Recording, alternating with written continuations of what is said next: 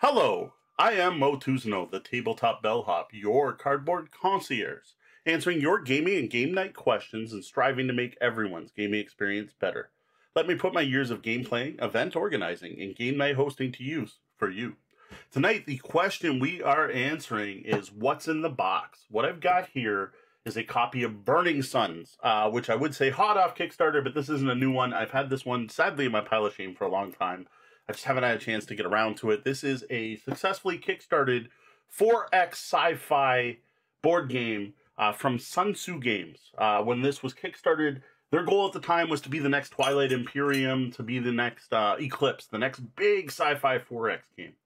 Now, one of the things I do want to show off right away, which is one reason I think many people haven't heard of this game. For one, this game is ridiculously heavy. I don't have a scale here, like that, there's a significant thump when you drop this box. I'm having a hard time holding it with one hand. But what you will note, I'm going to cut the shrink off quick because that's going to be the easiest way to show this. Is I don't think anyone who sees this game on a store shelf would pick it up. Besides the rather cool box art, there is literally no information on this box whatsoever to tell you anything about the game at all. Like that is probably the worst designed box back I have ever seen in my entire life. So note the publishers, don't do this. This does not sell your game. I don't know what any of the components look like or anything. So what is on here that it plays is 14 plus, plays 2 to 5 players and 40 minutes per player. There is also a choking hazard due to small pieces. That's it. So I'm as curious as I think everyone else out there is to know what's in this box because I don't know because there's no clue, no idea here. All right, so let's dig in and see what actually comes in a copy of Burning Sun. Trying to get that a little flatter.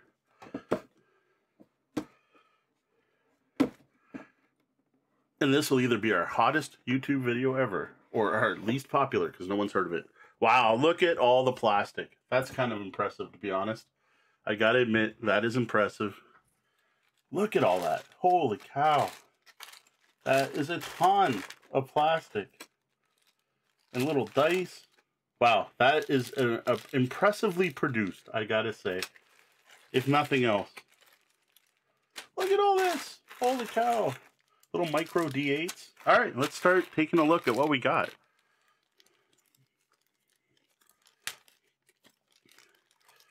I have to assume this is some kind of ship. It's got pegs on top. I don't know if this pegs in. I don't even know which way's up. So, bright yellow. Let's see if this helps. Yellow ship with a rather unique shape and some pegs on top. Um, let's see if I move this back. We're going to put yellow ship here.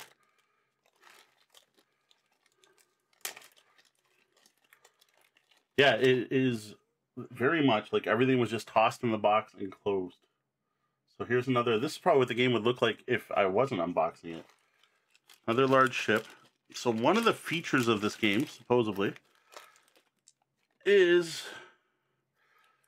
that you put dice right into the ships. So I don't know if this holds a D8. This doesn't look like it holds a D8. So I'm not sure what die goes in there.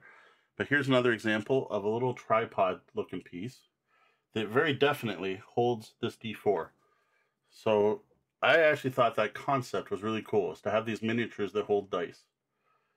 Um, does a D6 fit in here? No. So I don't know what size die goes in this ship. Uh, the D6 obviously goes on this then. So we have some kind of pagoda thing, and you would put your D6 in it. So hold that up. Component quality solid. Like these are these are that's a solid chunk of plastic. There's nothing rubbery there. So the D8, I'm not sure. We got a whole bunch more ships. I'm just going to stick with the yellow pieces just because they were the first ones I grabbed.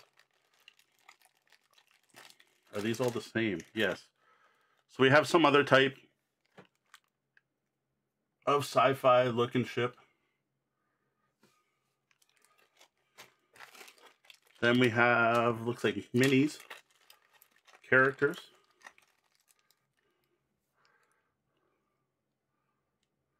Odd size, odd scale.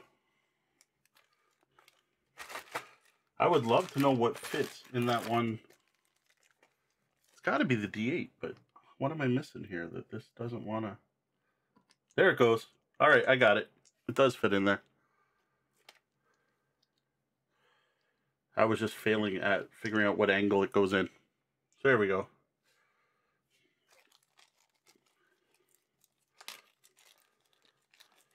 And we got some kind of fighters type looking ships.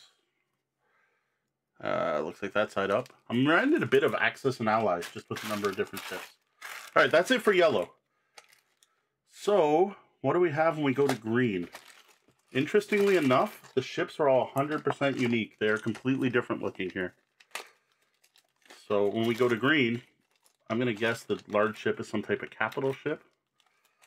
Oh, they've got the type of baggies that often rip at the top. That's what just happened. So I'm going to do green. So again, we have this like massive capital ship looking thing, which should fit a D8. So we're going to give that a 6. Yeah, fits in there good now that I know how to get it to fit with the point up. We got some kind of square very different triangle holding thingy. Again, I don't know what these are in the game. But yeah, D4 fits in the top of that. Fits nice. Like it's nice and snug. And then whatever the D6 thing is. There's the D6 in there. And then we have totally different boats. Looking tall, long. So a completely unique shape. Look to the other one. So this is upside down. That should be that way. That should be that way.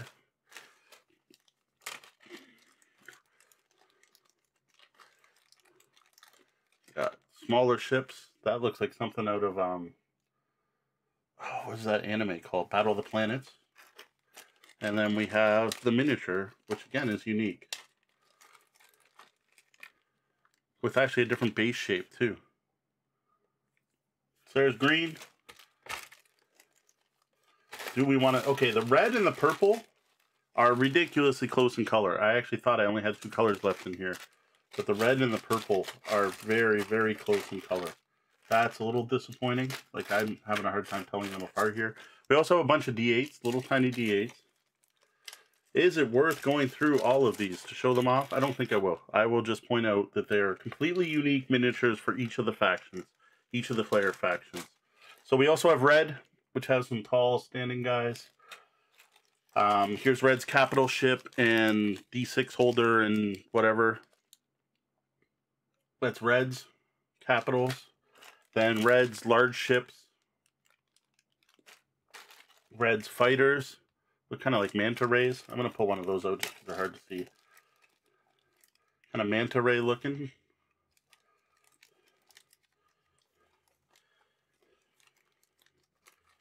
Then reds, smaller ships, gunboats, whatever they happen to be. And that's it for red. Then we have purple, which are really spindly looking demon aliens. Uh, purple's big chunky ships. Here's purple's capital ship, D6 holder. Try to get this with less glare. Not going to happen. Purple's fighters. And then purple's medium. Oh, I missed Green's Fighters. I didn't pull out Green's Fighters. Here's Green's Fighters. I like the look of these. Nice detailed minis. They could all use a wash as a cool looking ship. Alright, then there's blue. Blue's a little hard to see. We got blue's fighters. Blue's big ships. Blue's capital ship, which is like a giant long spike. It's kind of cool looking. Uh, Blues Minis, which are more really spindly looking aliens. And Blues Medium ships. There we go. Uh, we have a bunch of standees. Who knows? Plastic standees. What's interesting is they're different than you usually see with board games. They're not the, the same. I'm going to keep those out if, if I see what to put in. They got a nice little square shape. Then we have a double pack of cards which I'm going to put that aside just for a second because I really want to check out this rule book. And holy cow. All right, we're going to open this up. I'm going to pull the instructions out for a second and I'm going to put them aside so you can see this. Look at the amount of punch boards here, okay? Look at this. Back. Look at that. That is a lot of cardboard. A lot of cardboard. So I'm going to want to put these back in the box first. So we're going to go through these punch boards quickly. See what we get.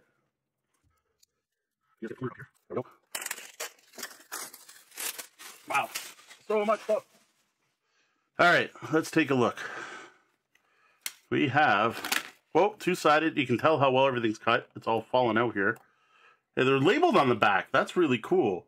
Empire Part 2 Framework, Empire Part 2 Race, Empire Part 1 Ideology, Action Sheet. So it looks like you can mix and match these various Empire things. Oh, wow. So you actually have like the Terrans of Chaos. That's actually pretty cool. So greens are Terrans. I dig this already. Just because you have the Merchant Terrans of Chaos. That sounds about right, doesn't it? The Merchant Terrans of Chaos. I think that's what we actually are. Okay, I dig that. Look at this. The stuff just falling off. I'm not complaining. That's a good thing. Things falling off punch boards means uh, very easy to punch. Oh yeah, we're going to throw that back in. I don't know how well this is all going to go back in this box. It's to be a mess. I just lost the me grab that before I lose it. So Merchant Terrans of Conquest. Um, then there's an action sheet. I love the fact that you get to mix and match the uh, the races. That's actually really cool. All right, so here we have Imperial Templars of the Eclipse, which again, I'm pretty sure you can mix and match those, and a ton more tokens. Then we have the United Cyborgs of Eternity, which I can't even hold up without it coming apart here.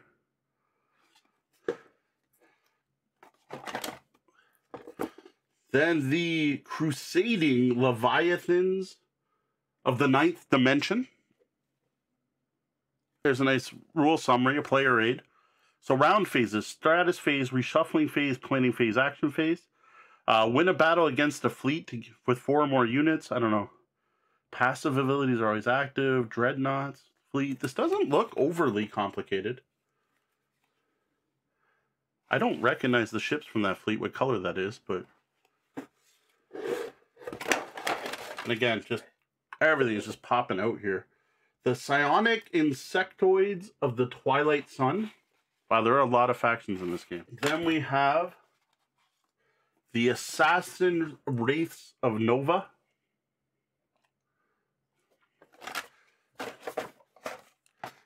With boards just popping out here, it's gonna not fit back in here well. We're almost through the first set. Wow, this is nuts. Oh, geez, everything's punching. Uh, Avenging Changelings of the Outer Rim. Okay, on top worked better. Nomadic Guardians of the Void. See, those are definitely the yellow pieces we saw. So it doesn't look like, I don't, didn't see all these factions. So it doesn't look like we have minis for all these factions. You must have the sub minis. My guess is probably if you back the Kickstarter, you might have got minis for all these. Um, exiled Arachnidians of the Fading Stars. And my god, I got a mess going on here. Alright, I got stuff caught on other stuff here. And it's meaning that I can't actually put the stuff in flat at all. Patron Neomorphs of the Rift. Oh, and a blank. Alright, it is crazy. Are these more? No, okay. Now we get to other stuff. So that was like all races and player boards, and it is never going to fit back in this box until I punch it.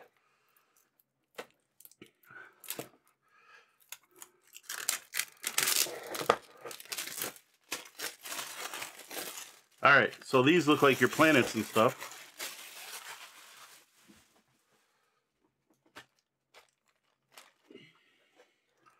So we have more punch boards with a bunch of planets on them. These are a little bit thicker feels like. So we have planets. It looks like they generate possibly two different resources. I admit this does not look bad at all in any way. For for some random game that came up on Kickstarter, looks like these might go between the planets. I know the designer was really excited about it when it came out.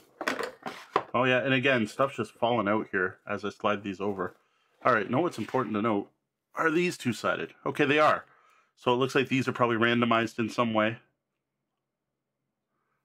So everything's two-sided boards. Extremely well cut. Like everything's fallen out. Artwork's cool for what it is. Like it all works. This looks interesting. I I am definitely more interested in checking out this game now that I've seen what's inside. I'm never going to get all this back in until I punch it, unfortunately. All right, so we're going to toss all these back in, all these minis. I'm just going to toss them in loose. The way the dice sit in the thing is cool. Like that that's definitely a neat feature. I don't know exactly what it does gameplay wise, but that whole sit your die in the mini is a nice touch. So five different colors, but more factions than there are colors. So it looks like you may, kind of like Twilight Imperium, you use whatever's available because there aren't miniatures for every faction in the game.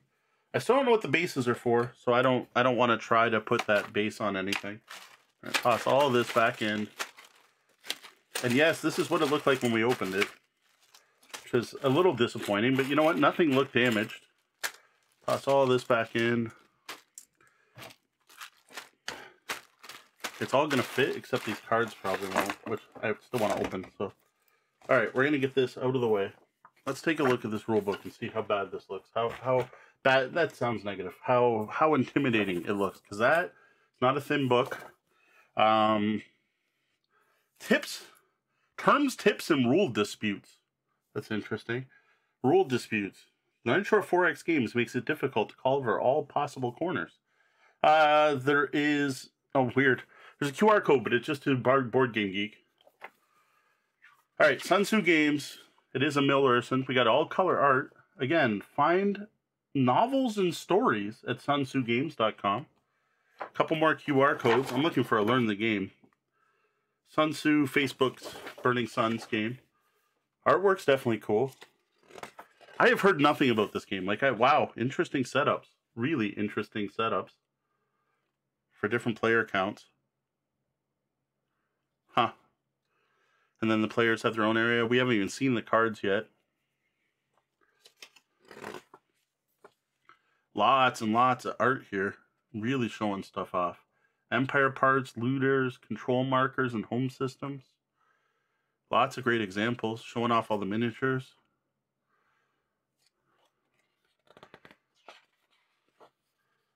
And you do, of course, randomize the three things, which is, was pretty predictable. Looks like a solid rule book. Tons of examples, which is always good to see.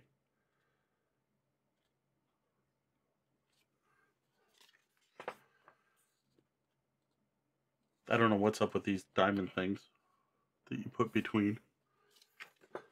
Text is nice and large. No, this looks looks rather fascinating. All right, we're to speed up. Just showing off some of the cards, obviously, for the various ship types. All right, that's the rulebook. Won't know till I read it how bad it is, but nothing visually wrong with it. Everything nice, well spaced out. Shots of the actual gameplay pieces, which is always a bonus, not just um, CG. And finally, we have two packs of cards here.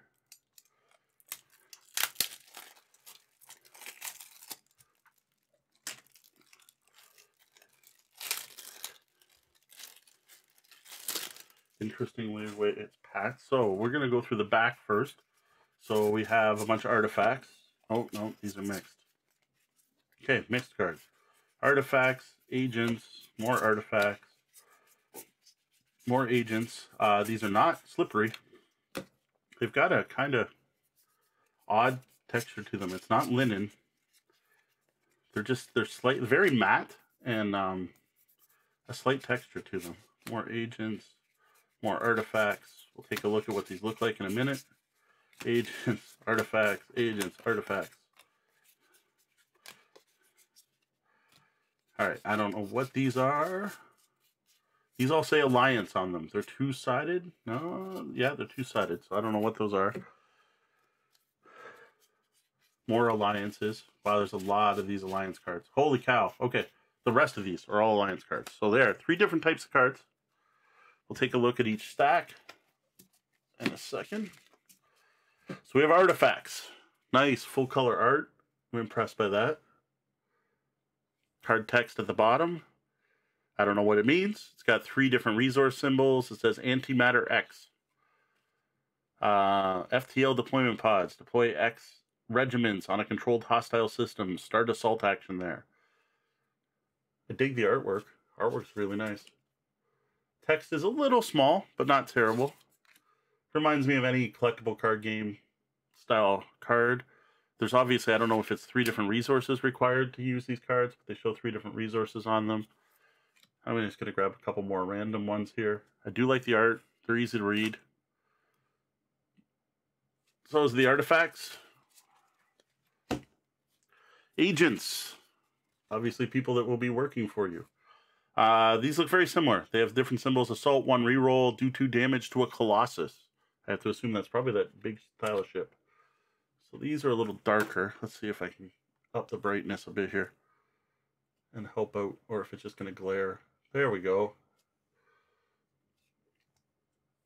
There we go. That's really showing off the cards. That reminds me of something from uh, Wing Commander. Again, artwork's solid. For a game no one's ever talked about, I've heard nothing about this game. I'm really impressed by what I'm seeing so far. Then we have the final deck of cards, which all say Alliance on one side. Again, nice looking artwork. This one says Diplomacy plus two to distance, Barrage, cancel two hits. That's the Peace Alliance. The Tech Alliance says Jump plus two distance, Scan plus two crystals. So, bunch of Alliance cards. I'll tip these up just a little bit to get some light. Again, artwork's really nice. Card quality solid, nice thickness. Then the other sides of these say like special abilities. This says swarming. This on the other side says particle blink. So there's obviously something else with the alliances. Merging elements and so on. Huge deck of these. Two-sided cards. So there you have everything that comes in Burning Suns. Which, man, did it look like a mess when we first opened it. But there is a ton of cardboard in this box. We're going to toss these in here. I might even be able to shut it the way it was. Ton of stuff. That's kind of what it looks like when you get it. To be honest, I have no idea if anyone out there can even get a copy of this. I didn't look it up on Amazon or anything like that. So there you have it. That is what you get in Burning Suns from Sun Tzu Games. Uh, a game that you would probably never heard of. And a game I would never pick up at a store because of this back there's absolutely nothing in here showing off all that cool stuff that was in that box, especially with the number of miniatures that were in there. I don't understand. Like, show that stuff off. There was a pile of stuff in here. The amount of cardboard. I am duly impressed by what I saw in that box, actually, for, for something I had no idea what to expect. Uh, miniatures look good. The fact you put dice in some of them was really cool. The fact that all five player armies had 100% unique ships, there was no duplication. We got a bunch of cards, rule book, lots of color examples. Didn't look overly complicated, but I haven't read it, so I don't know. I don't know how the gameplay is. But I am extremely impressed by what this looks like inside and just baffled by the fact that they don't show you that anywhere. Very odd. Very unique choice there, Sun Tzu Games. So that was Burning Suns by Sun Tzu Games. I am Moe Tousignant, the tabletop bellhop, your cardboard concierge. You can find my content all over the internet. Uh, sorry, you can find me all over the internet as Tabletop Bellhop, one word. Twitter, Facebook, MeWe, social media, Instagram, Pinterest, all those places. Tabletop Bellhop, one word. You can find my content at tabletopbellhop.com, where you'll find news, uh, not news really, reviews, uh, discussions of games, unboxing videos like this, actual play videos, and lots of other cool gaming content. We deal with everything tabletop that's board games, role playing, miniature gaming, etc. If you're playing at a table with your friends, we cover it. Uh, you can catch the Tabletop Bellhop Gaming podcast recorded live on Twitch every Wednesday night at 9 p.m. Eastern. And you can watch your podcasters for the Tabletop Bellhop Gaming podcast. Uh, one last thing, if you do dig this video and you like the content we're providing, it'd be awesome if you headed over to patreon.com slash tabletopbellhop and consider tipping the bellhop. That's it for today and this unboxing video. Thank you for watching. For Tabletop Bellhop, I am Moe Tousignant, the Tabletop Bellhop. Good night and game on.